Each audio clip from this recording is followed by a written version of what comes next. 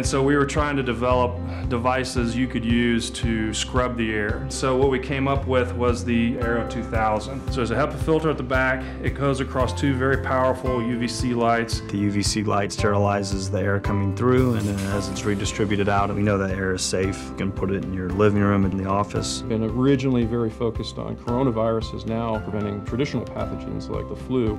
The biggest mission for us was giving people confidence to get back to work and life again.